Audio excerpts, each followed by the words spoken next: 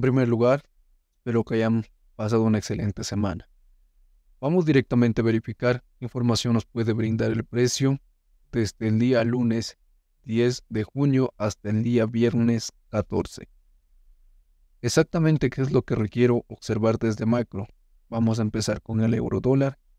Utilizo un marco temporal mensual y ya no es necesario debido a que prácticamente ya nos encontramos en el mes, en la segunda semana del mes de junio.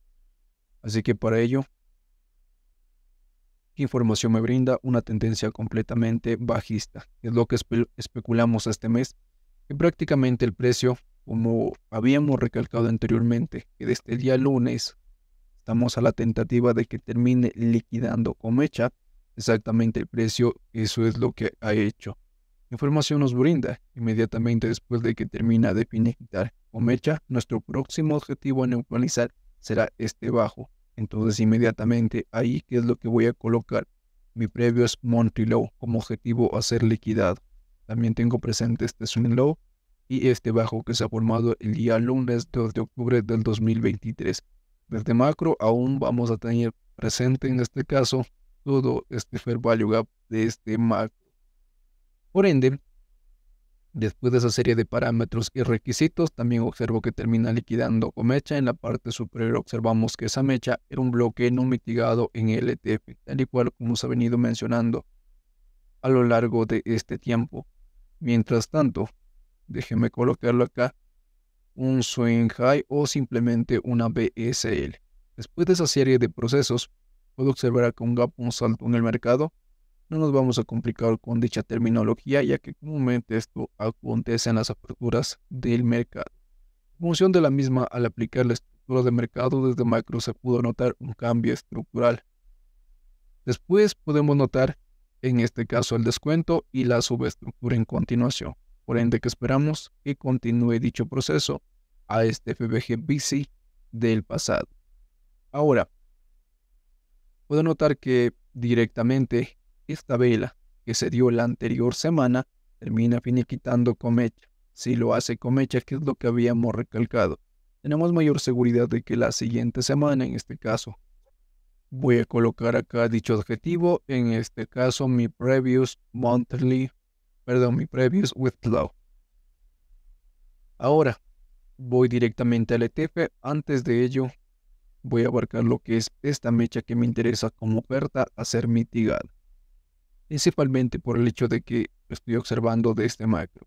Al dirigirme a LTP y observar estructura de mercado, directamente puedo notar toda esa serie de procesos dejándome mínimos y máximos cada vez más bajos que los anteriores de gap, como recalcamos siempre, serán rellenadas. Mientras tanto, ahí puedo colocar mi BMS, es decir, pues del impulso espero un pequeño descuento, lo termine rellenando, probablemente lo haga completo o venga esa serie de procesos para luego continuar a largo plazo. No nos vamos a complicar con la misma. Después de que ya termino finiquitando, ¿qué es lo que voy a realizar a continuación? La tendencia, como mencionamos de macro, bajista. Como liquida con cuerpo, mi próximo objetivo es este siguiente bajo. En refinación de zonas, puedo quedarme con esa oferta suplison, que significa zona de oferta en español. Al dirigirme a LTF, igual tenemos la continuación, en este caso bajista. Utilizo marco temporal de una hora, exactamente el mismo proceso. Aquí directamente es donde aplico y doy el contexto de la misma con la herramienta ICT Kilso. Es lo que vamos a realizar. Directamente desde macro lo que me muestra es que necesito saber si la semana fue bajista o alcista. Acá lo que me muestra es que he tenido un movimiento alcista al inicio de la semana. Me dio el descuento de la misma con cambios estructurales de distribución. La fundamental que se generó el viernes y por ende martes, lunes, pero este proceso para luego continuar distribuyendo. Eso es lo que estoy observando a niveles macro. ¿Qué pasa con 15, 30, 5 minutos? Para ello prácticamente tenemos un canal de Telegram en donde pueden darle clic a cualquiera de los videos y directamente les manda al canal. Por ejemplo, me dirijo a la parte inferior y aquí donde dice únete a la comunidad de trading, directamente ustedes qué es lo que van a realizar le dan clic en el canal o grupo de Telegram o tal caso ingresan a Discord y tienen lo que es las proyecciones como trader scalper.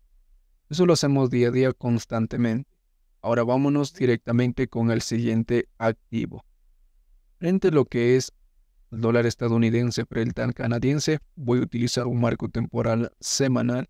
Antes de ello verifico un mes y qué información me brinda. Después de que finalizó en este caso, terminó o cerrando dentro de la misma que fue la vela exactamente de mayo, información nos brinda. Su próximo objetivo en cuestión de teoría era irse por este alto. Sin embargo, como se forma dentro, mi próximo objetivo es este bajo. Alguien se preguntará, Dominic, pero aún me encuentro en tendencia alcista. Por ende, después de que ya finalizó esa vela, la vela de junio probablemente me deje ese salto y vaya por estos saltos. Perfecto, muy buena estadística o especulación en la misma.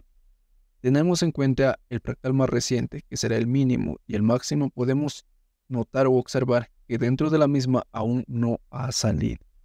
¿Ya? Entonces, ¿qué vamos a hacer? Operar cortos. En base a la proyección, aquí, ¿qué es lo que voy a colocar? Mi previous monthly y tenerlo presente como objetivo. Me dirijo a un marco temporal semanal a verificar qué información me brinda. Al observar en este caso una semana, la vela de la semana en este caso anterior terminó cerrando dentro de la misma. ¿Ya? Un cuerpo de vela. Por ende, lo que me indica es que mi próximo objetivo después de que termino liquidando comecha será este siguiente alto. Es decir, podemos especular que el siguiente o el próximo objetivo durante la semana será este previous with high. Perfecto. Recuerden, no se olviden también de estos saltos que hay que tenerlo presente. Acá tengo una mecha enorme, velas de gran volumen, demanda cercana, probablemente continúe distribuyendo. Utilizo marco temporal de una semana, por el hecho de que me deja velas de gran volumen, que es lo que se puede observar. En este caso, subestructura de mercado en cuestión de cambios estructurales. Si tengo en cuenta este punto máximo, puedo notar que ha terminado finiquitando lo mismo en la formación de mi fractal o el impulso más reciente, que prácticamente será este punto mínimo y este punto máximo. Después de esa serie de procesos, observo que líquido con cuerpo, sin embargo, como me encuentro por encima del 50%, sí buscaría un pequeño descuento para luego continuar distribuyendo. Al utilizar mi cuadro de GAN, exactamente me encuentro en precios caros. Aquí lo que voy a tener en cuenta es esta demanda como referencia para observar qué es lo que puede acontecer a lo largo del tiempo. Ahora utilizo un marco temporal de 4 horas y verifico qué información me puede dar a acontecer directamente en cuestión de zonas, movimientos ineficientes, puntos que no han mitigado, niveles óptimos de entrada y tal caso salida, podría en este caso refinar y concentrarme directamente en el fair value gap. Y con ello, vaya casualidad, está confluenciado en este caso con un breaker block. ¿Listo? ¿Por qué un breaker block, Dominic? Por el simple hecho de que el precio me deja un impulso bajista o mínimo más bajo, no lo hace, ¿no? Sin embargo, con el siguiente movimiento sí lo hace. Llega un momento en el cual no lo respeta y causa mi primera ruptura. Por ende, esta será mi zona óptima donde esperaré al precio. Me dirijo a un marco temporal de una hora y voy a verificar qué es lo que ha hecho en función de las semanas anteriores. Para ello, déjenme colocarlo acá. Activo mi herramienta y lo que me muestra directamente es que he tenido una dirección completamente alcista.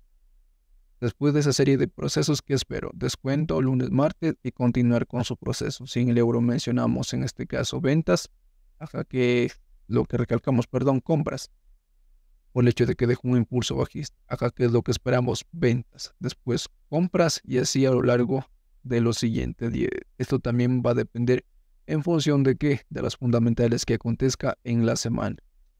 Me voy con el tercer activo. Utilizo marco temporal mensual y verifico dicho contexto. La narrativa desde macro lo que me muestra es una tendencia completamente bajista, dejando mi mínimos y máximos cada vez más bajos que los anteriores. Puedo notar que ha llegado a un desequilibrio de volumen. Perfecto, entonces es ahí donde voy a tener presente esa zona como objetivo. Me causa mi cambio estructural. El projection me da a entender que debo continuar vendiendo. Entonces acá desde este punto o nivel de la cotización que ha generado, voy por la neutralización de este bajo. En este caso, este swing low. El nivel exactamente 1.20371. Entonces ahí es donde coloco mi SL. Perfecto. Y analizo cada una función del grupo de velas. Termina liquidando con cuerpo. Perfecto. Mi próximo objetivo fue este bajo. Sin embargo, fue por este alto exactamente el mes de mayo y terminó cerrando con cuerpo. Según la teoría, lo que me recalca ahora es que debería irse por este siguiente alto. Es decir, exactamente este mes de qué? Este mes de junio.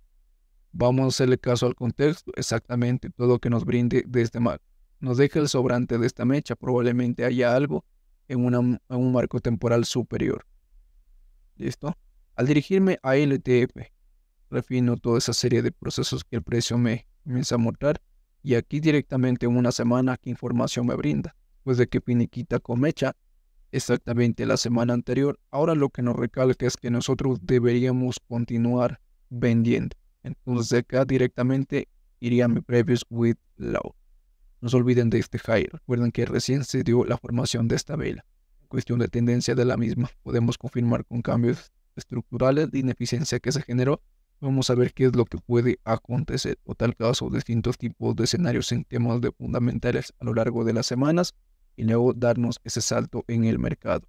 No nos compliquemos y vamos a ver qué función me brinda. En primer lugar tengo el inicio Déjenme colocarlo acá. De esta manera para que se note de manera dinámica. Aquí coloco mi punto mínimo y en la parte superior mi punto máximo de esta manera. Es decir, tengo el inicio y el final de mi fractal.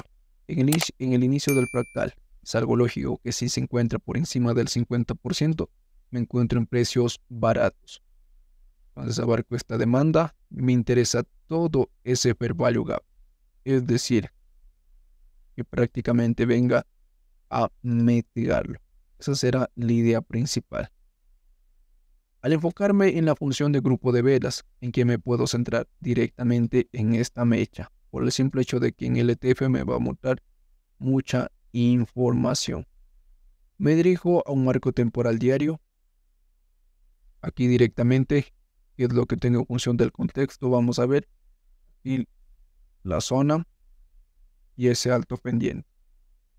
Directamente o estructuralmente puedo observar varios toques en el mismo punto, movimientos acumulativos, un fractal ineficiente que se ha generado desde macro. Entonces ahí estaría lo que es mi atención en la misma.